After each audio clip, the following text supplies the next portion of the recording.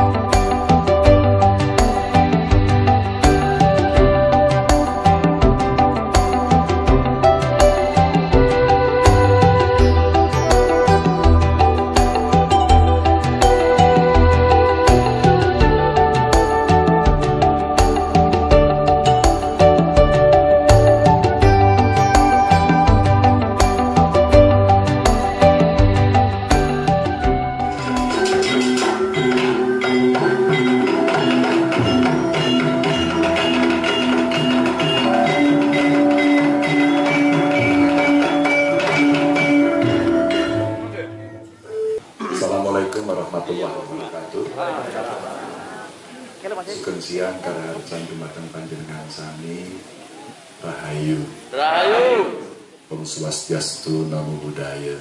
Bapak Ibu hari ini saya ada dua undangan maka saya sampaikan bagaimana sampai ke Tegal. Ke Tegal dulu aja Pak baru ke Pemalang. Jadi rutenya kita ke Tegal ke Pemalang dan saya terima kasih 2013 lalu datang ke sini hari ini bisa ketemu lagi dalam suasana yang sudah berubah. Berubahnya menuju kemajuan. Ini luar biasa dan dari perguruan Trijaya saya menyampaikan terima kasih. Semangat merah putihnya anak-anak kita luar biasa. Maka ternyata dengan teknologi yang sangat luar biasa sekarang tidak hanya sekedar mulutmu harimaumu tapi drijimu ya harimaumu. Maka hari ini tiba-tiba kita dicolek diingatkan agar kita semua hati-hati. Nek wong Jawa niku eling lan Zamannya pancen edan. Ning ora usah melu edan. Aja wedi ora keduman aja. Jaluk edan keduman. Luwih becik wong sing eling lan waspada. Dan saya mau pamer sama Bapak Ibu. Jaket saya yang boy sini. Ini orang mungkin melihatnya agak mirip sama logo itu ya. Ada apa namanya? Salah. Itu sayap. Yang ini apa? Gedang. Kenapa gedang? Kenapa namanya ini bandiem? Bandiem itu mbok-mbok yang sudah sekian kali gubernur itu jualan pisang di depan kantor gubernur. Dan kemarin bulan apa ya, sudah bulan lalu beliau meninggal, saya datangi di keluarganya di Klaten, saya takziah ke sana, boleh nggak bu? Namanya Mbah Bandiam saya abadikan sebagai geng motor saya. Gitu. Jadilah geng motor Bandiem. Gitu. Maka kalau orang dari jauh melihatnya, wah itu kayak sayap biasanya. Oh, yang sangar-sangar itu yang di atas itu, itu geng motor itu, sangar-sangar itu. Nah, aku remas gedang. Jadi kalau ini tinggal dimakan.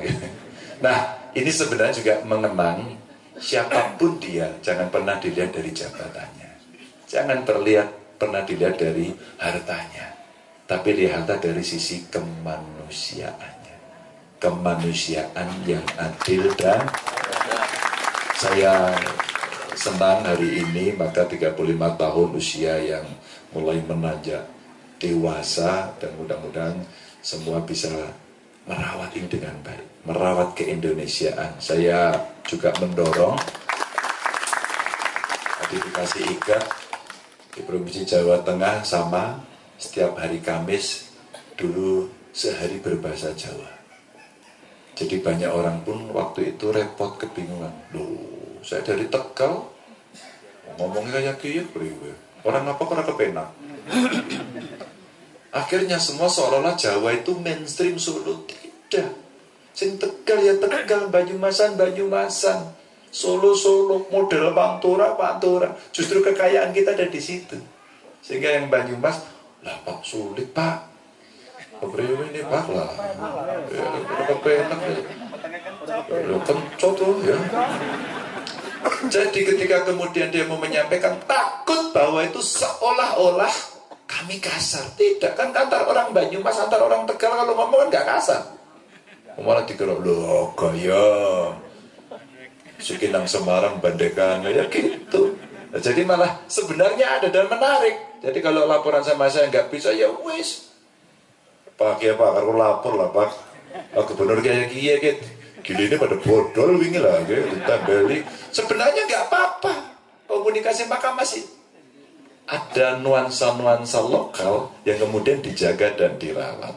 Termasuk sekarang saya tambah setiap Kamis pakai baju adat. Sehingga sekarang ada mulai terlihat dan ternyata kaya yang luar biasa. Semua punya ikat saja sekarang sudah berapa dan sekarang industri ikat muncul lagi. Baju luar biasa tumbuh ya. Dan minggu keempat, kemis keempat, kami pakai baju adat nasional agar Jawa Tengah juga Indonesia.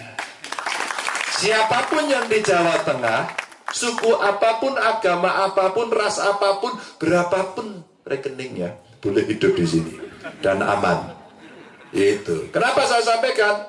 Maka tadi malam dengan Pak Pangdam, Pak Kapolda kita juga merawat keindonesiaan cinta Papua, cinta Indonesia kita buat pagelaran luar biasa. Kita hadirkan Budi Kempot dan Sobat Ambiar ketemu semuanya. Jadi semua lagunya cendol dawet pokoknya. Ya ini mesti apal semua ini. Jadi hal itu bisa membuat bahagia, membuat riang seperti hari ini kita bertemu. Riang, gembira, Salamnya juga bagus ya Pak ya. Salam bahagia. Jangan lupa bahagia. Kadang-kadang banyak orang lupa bahagia. Tumpuk bondo, mangan enak gitu, kolesterol. Lupa bahagia piknik ketemu wong serawung salaman ketawa selfie itu upload ini luar biasa negara lain nggak punya yang kayak kita nggak punya yang kayak kita cengar cengir gitu kan ada yang tanya ke Cak Nun itu menarik. Kenapa negara yang kafir itu lebih maju dari kita? Padahal kita lebih islami. Kenapa? Jawabannya Cak Nun nyenengir. Lambemu enak nanti coba. Kowe lu menang Washington kono jam 10 tutup serasa metu apa-apa. Luwe kowe kruk-kruk ngono tok nang gone awake dhewe metu Indomie nang kono enek, sego goreng enek, tuku udut gampang, lu maju ndi? Karena juga cerita itu menarik. Ini, ini saya saya baca anda kepinggal-pinggal. Lawang Profesor Dokter nang Amerika handphone Nokia lawas eli eli. Kini ki handphone kabeh. Smartphone tak lho lho. Selpa, selfie, ini smartphone kabeh. Canggih-canggih. Luar biasa. Menuwe ngutang. Direwangi lho. Direwangi niku ngutang niku wani lho niku nek ora negarane awake dhewe maju mboten saged wis bandingno. Kabeh kenang kono golek panganan angel golek panganan seger mboten enten lho. Tukune sing nika lho ngangge mesin nika lho. Metu terus dipanasi dhewe ora penak lho teng Solo niku bubur ceker niku mulai jam siji bengi kok lagi dibuka kok lho tobat ora penak nang endi wong Indonesia uripe jadi Jangan minder. Nah, tinggal kita kemudian mengangkat kebahagiaan itu menjadi satu nilai. Maka dalam konteks internasional pun sekarang kemajuan bangsa tidak ada, tidak hanya sekedar diukur berapa pendapatanmu, berapa pengeluaranmu, berapa kekayaanmu, tidak. Ada satu lagi sekarang, indeks kebahagiaan. Nah, apa nih, ya bagian itu niku ketemu menges, ketemu wonge seneng tetulung, kumpul nyenengke. Nenek enten mboten enten wong ya aja merenges dhewe. Oh ya. Ini bahagia apa perlu nang rumah sakit jiwa kira-kira ngaten.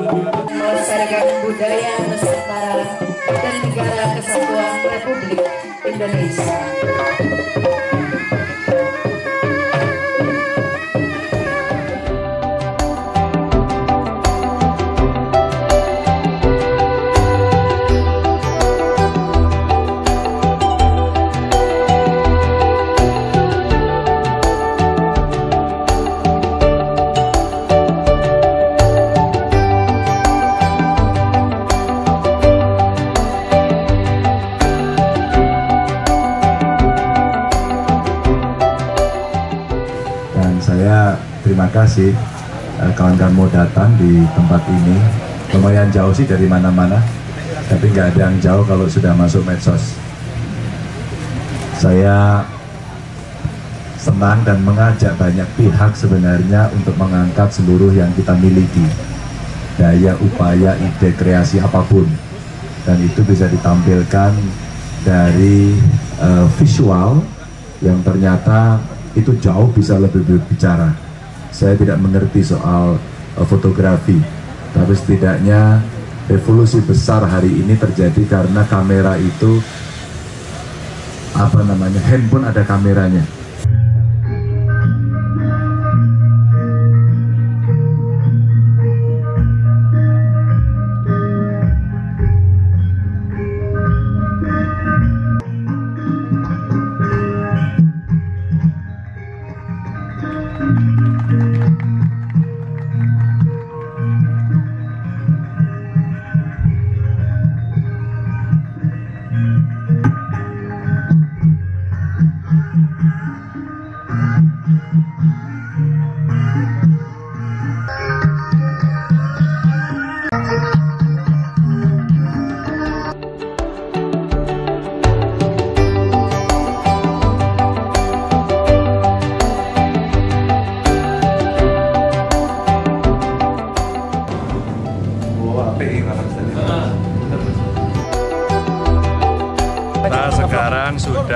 di kunjungan mana tadi?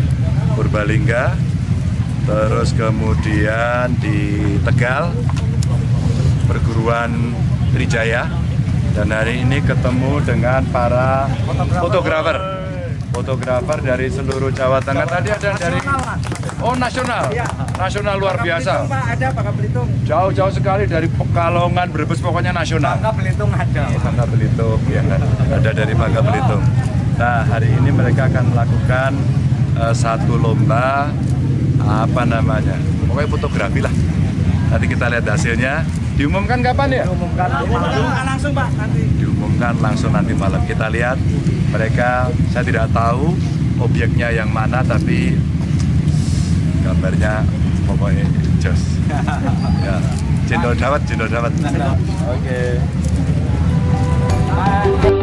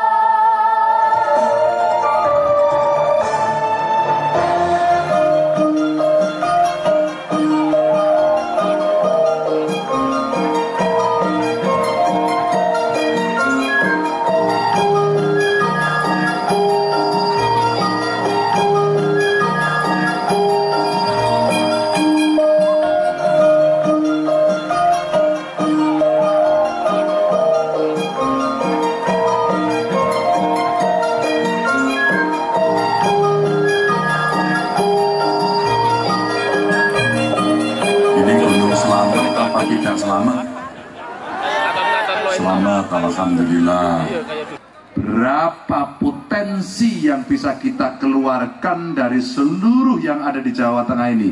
Baru Jawa Tengah toktil itu akan muncul kesenian beragam, bahkan kemarau kurang air saja bisa jadi penampilan. Itu nera wong Pemalang ora iso itu. Tema yang menurut saya secara kebutuhan hari-hari Bapak Ibu tidak bisa hidup tanpa air. Dan secara politik kita perlu bicara politik air. Apa itu politik air? Mari kita gunakan air dengan bijaksana. Kalau kita sudah pada tingkat hilir harus menggunakan, ayo kita gunakan, jangan boros-boros.